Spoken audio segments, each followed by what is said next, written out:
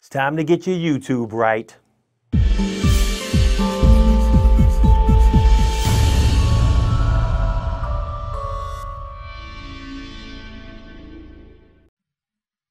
Hey Power Director peeps, how y'all doing out there? My name is Maliek and I'm back on your screen with more Power Director love. You know, the Power Director love you're looking for from Power Director University. Today we're going to be doing a tutorial on the best render settings for YouTube using Power Director 16. Let me know in the comment section below if you have different settings that you use for YouTube, and if so, what's the quality like? Let's jump into the software and make it happen. Here we are on YouTube Help.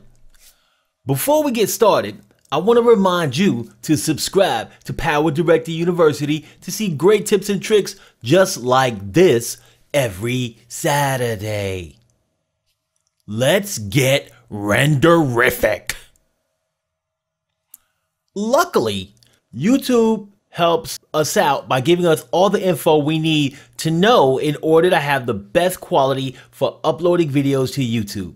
So I'm going to include the link to this page in the video description because I know you're going to want to check it out. Now, you'll need to know what resolution and frame rate you plan to produce your video at in order to determine some of the settings here. So if you don't know that, figure that out first, come back here. All right. Now, I want to produce my video uh, at 1080p and 24 frames per second. So I'm going to base my settings off of that information. Be sure to write down the settings you select so you have them ready when you jump back into Power Director. The first recommendation that YouTube makes is for us to use an MP4 container. So you can click on the setting or the drop down and you get more information on any of the settings that are listed here. If you want more info about the MP4 container, go here. Not really much that I need to talk about, so I'm moving on, baby. I'm moving on. Next thing that we got listed on here is our audio codec. Now, YouTube recommends using audio codec AAC dash LC. Now, you can have it in stereo or stereo plus 5.1 and your sample rate should be 96 kilohertz or 48 kilohertz. Easy peasy, lemon squeezy. Straightforward so far. Thanks for helping us out, YouTube help. So then we got our video codec. As you can see here, YouTube recommends using H.264. Now, as you can see when I click on that drop down, YouTube offers specific options if your editor allows you to select them.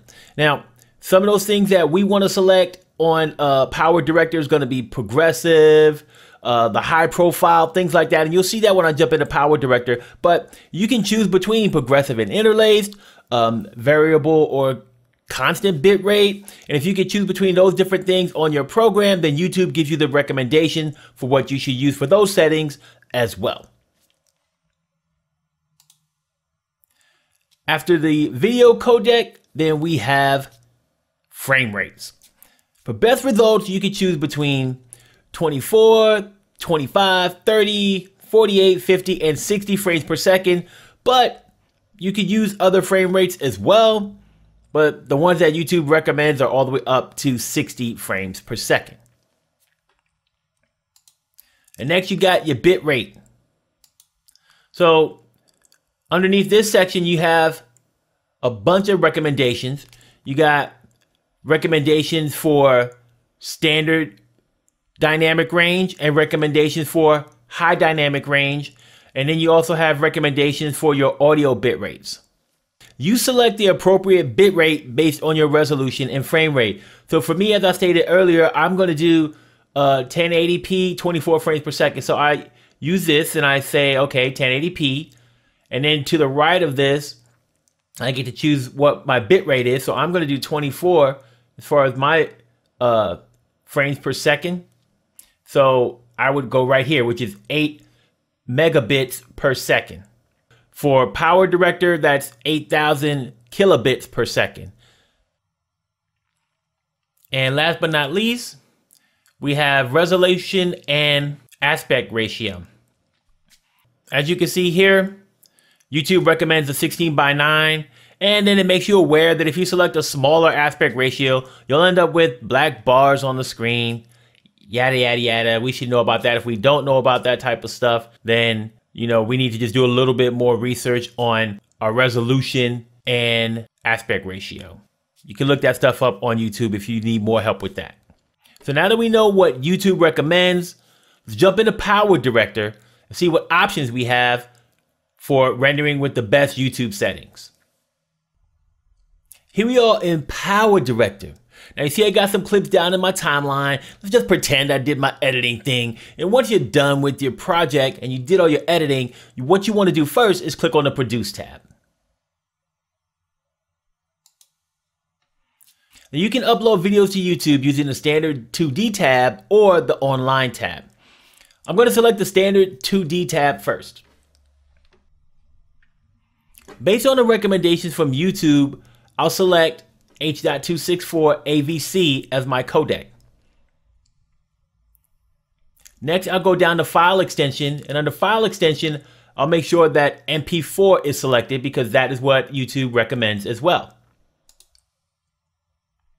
Now I'm going to select a profile, and I want to select one that matches the resolution and frame rate that I want my video to be. So for this one, I have 1920 by 1080, 24p. So I'm going to select that one. If you're looking for a higher frame rate that doesn't exist with like 1080, just select a lower frame rate for now and we'll fix that later, okay? Don't worry, I got your back. If you want to, you can review the details of the setting for the video here So I want to create my own custom profile to make sure that I can adjust those things that need to be adjusted. So in order to do that, I'm going to click on this little plus sign here to create a custom profile. And I will name my custom profile YouTube. And then for the description, I'll just put something like uh, YouTube custom profile or blah, blah, blah, whatever. Now looking over the properties, we can see some of the information that we saw within the details, and a lot of this stuff is already dialed into where it needs to be, so that's great. We got, oh, the frame type's already on progressive, the profile file type, or the profile type is already high profile, the entropy encoding or coding is already CABAC. Man, we're already dialed in on a lot of this. It's gonna be real easy to do. But there are things that I want to change. So I'm going to come up here to the video tab and I'm going to click on that.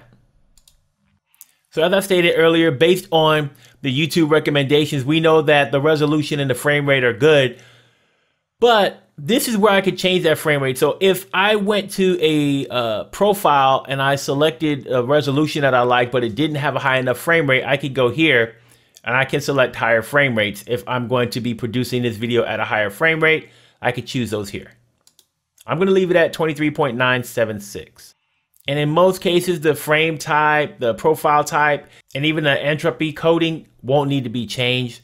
Uh, progressive, high profile, and CABAC are good to go. Now, the average bit rate for the video is too high. So right now it's at 15,500 and I need to change that to match the YouTube setting. So YouTube said that 8 megabits per second is good. So that's 8,000 kilobits per second. Now, this won't cause a, a, noticeable decrease in the quality of the video and it helps by reducing the video file size.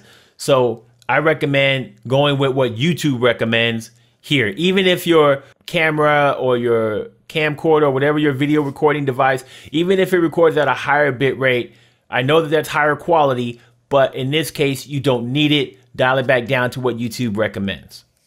Next, we'll jump down to the advanced section. And in this section, I'm gonna leave this on quality mode. This will cause it to take a little bit longer to render, but the quality will be better. Now, if you want the video to be rendered faster and you're willing to sacrifice quality, you can select speed mode if you wish to do so. So next, I'm gonna leave use deblocking checked. Uh, this is a video filter that's used to improve visual quality. It smooths out the sharp edges uh, that are sometimes caused during encoding. And then I'm going to go ahead and check use dynamic GOP. Now, GOP is basically a collection of successive pictures within a coded video stream. So video is made up of a bunch of pictures. So this is what GOP is. Now, dynamic GOP allows the decoder to improve compression based on how the pictures are arranged throughout that video stream. So I leave that checked. The next thing I want to do is go to the audio tab. Now, based on the YouTube recommendation that we saw earlier, the auto compression is already on AAC, so we're good. Audio channel is on stereo, so we're good there. And the audio compression rate is at 384 kilobits per second, so we're good there as well. You can change any of these based on your needs and the settings that you wrote down for what you needed to have from that recommended uh, YouTube encoding page. So now we'll just click on OK. And as you can see, the profile name changed to the profile that we just created. Now,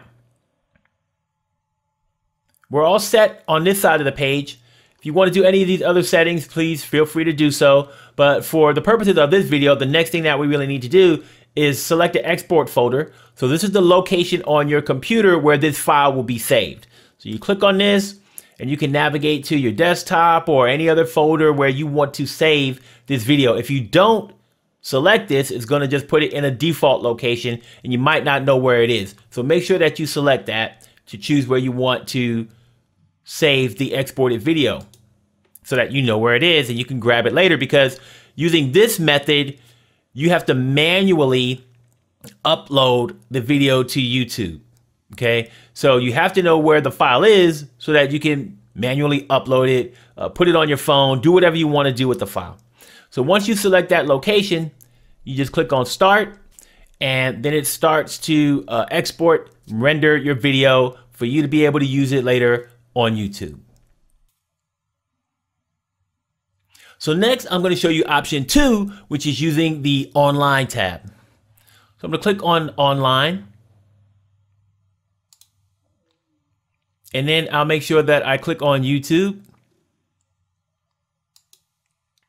Now, under the profile type, you can select the video resolution that you like. There's a bunch of options on here. You got standard definition, you got high definition, and then you also have your 4K options on here as well. For best results, you want to match the resolution of the clips you used in your videos to the setting that you choose here. Now, remember, rendering at a higher resolution is not going to improve the quality of your video. If you have a standard def clip and you try to uh, render it at 4K, it's still going to have the same quality that a standard definition clip is going to have. So Another thing you want to remember is if you used multiple resolutions in your project, let's say you have some 1080p, some uh, 4K, some standard, you need to select the quality that you think is best based on the output that you're going to have after the video is cropped or after letterbox are added to it because based on what you do, it's going to have different impacts on your video. Um, so you can do a few tests if you want to see which one's best for you and then select the one that you like best. Right now, I'm just going to leave it here on full HD, 1920 by 1080. Under title, you want to update the title with the information you wish to display on YouTube. So I'll just call it uh, YouTube 2. What you want to do for your video is make sure you use tools like the Keyword Planner to help you figure out good titles for your video so that they're searchable and easier to find in YouTube. And then the next thing you want to do is fill out your video description. Once again, you want your video description to be robust and you want it to really reflect what's happening in the video so that the YouTube algorithm can usually use that information to help have some laser focus and pinpoint exactly what your video is about and display it to the right audience. So make sure that you have a robust video description. And I'm just gonna put something on here. It's pretty easy.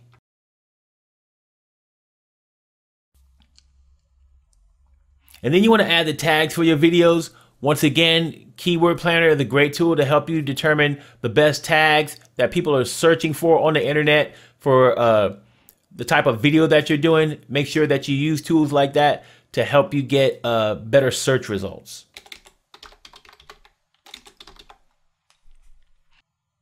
And then finally, you want to choose your video category. And then you want to click on start. So basically, it's going to tell you you need to log in, do the steps to put in your YouTube channel or your Gmail or email address and your password. It'll take you through that authorization and then it'll automatically start to upload your video to YouTube.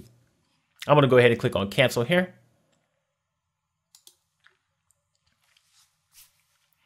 Now, a few quick things. Using the YouTube upload option from the online tab doesn't allow you to select the YouTube recommended settings. Unfortunately, it uploads your video to YouTube using the WMV codec rather than the H.264 codec. But it's up to you how you want to upload based on your preferences. If you want convenience and you're satisfied with the quality, then the online tab may be fine for you. If you want more control, higher quality, and don't mind taking additional steps to upload your videos to YouTube, then the standard 2D tab may be best for you. Personally, I prefer using the standard 2D tab and uploading to YouTube manually, but that's just me. You do you, boo. You do you. All right, Power Director peeps, I want to thank you so much for watching this video all the way through to the end. It truly means the world to me. And now I want to send a shout out to one of my subscribers, Copper City Flicks.